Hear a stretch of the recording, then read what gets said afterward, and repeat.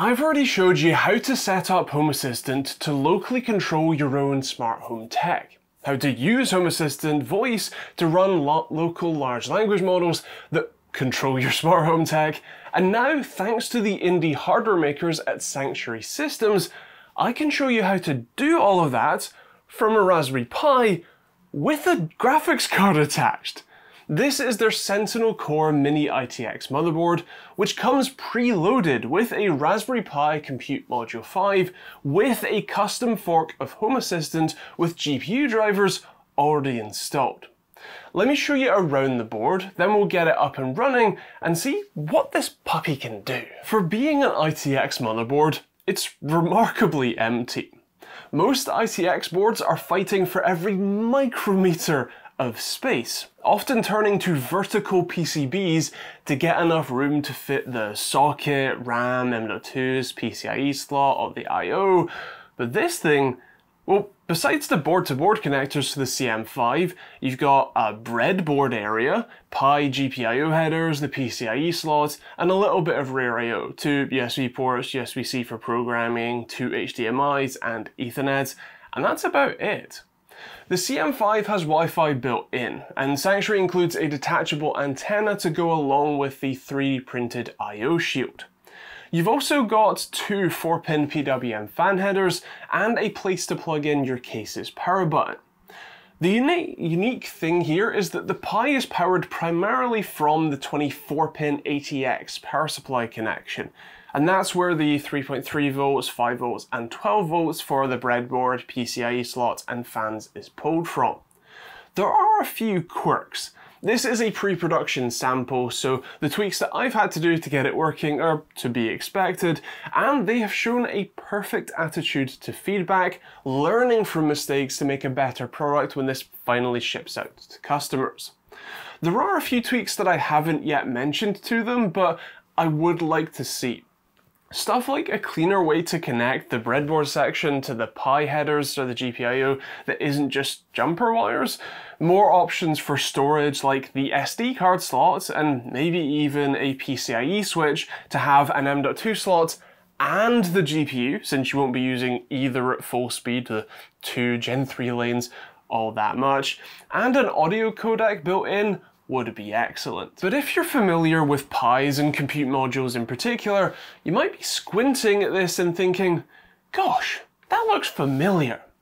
And you'd be right, because, well, it's kind of just this, the Compute Module 5 I.O. board, but embiggened. They've swapped the M.2 slot for a PCIe slot, made it taller to fit the MITX standard, added the 24 pin, and swapped to 4 pin fan headers. There are a couple of other changes, like the transistor that latches the power supply on when the Pi is on, but for the most part, you've just got a modified dupe. You might look at that then and wonder why you would pay the premium price tag of 219.99 euros, or about 190 pounds right now, when a CM5 and I.O. board will set you back just over 100. Well, the short answer is one, the I.O. board doesn't let you connect a GPU to the Pi, at least easily anyway, and two, you're not just buying the hardware, but the full package.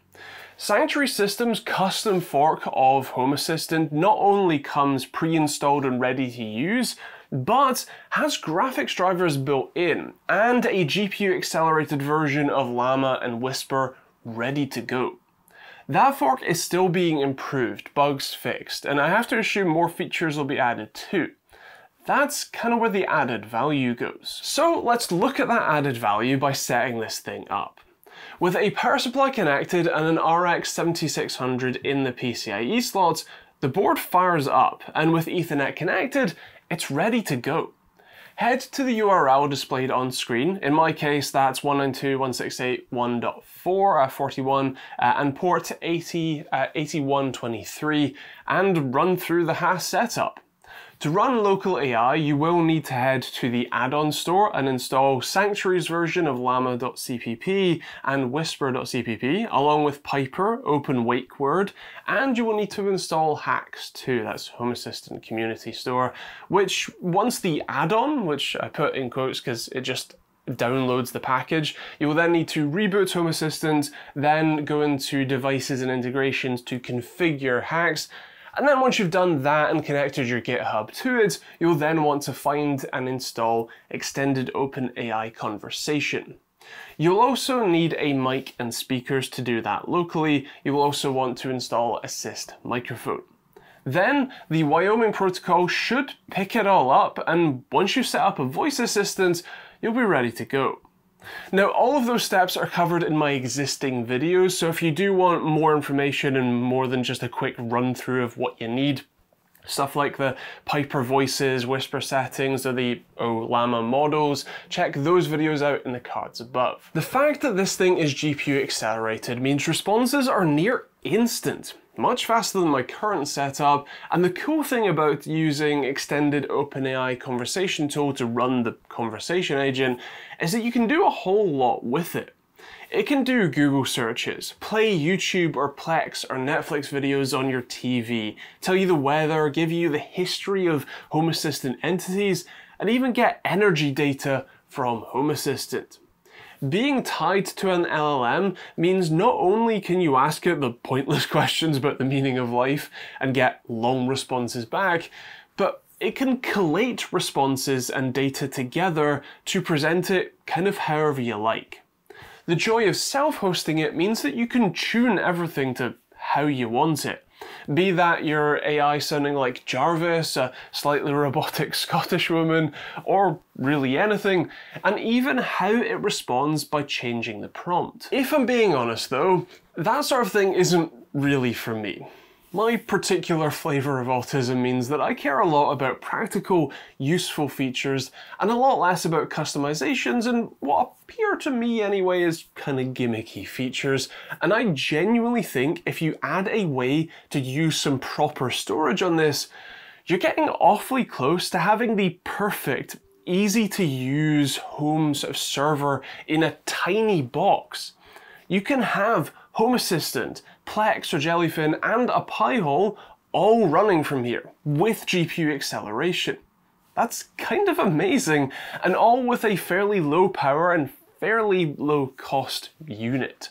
That would be amazing. But there is a bit of a catch.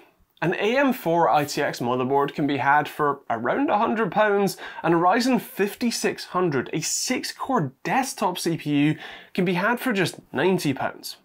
Admittedly, you will have to sink another £30 into it to get 16 gigs of RAM, but then you've got a powerful desktop 6 core that's upgradable with plenty of storage options, a GPU slot, more I.O., and it still fits in an ITX case for pretty similar money. That's essentially what I did, except I don't care about the size, so I have a desktop case with a 10400F and two GPUs, but still.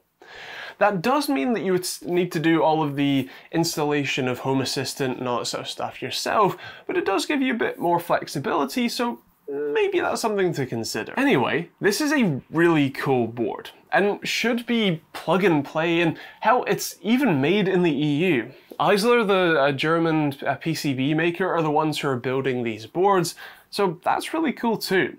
It's also open source. Everything from the HASS fork to the PCB files are available on their GitHub repos, and you know how much I love a good open source hardware project.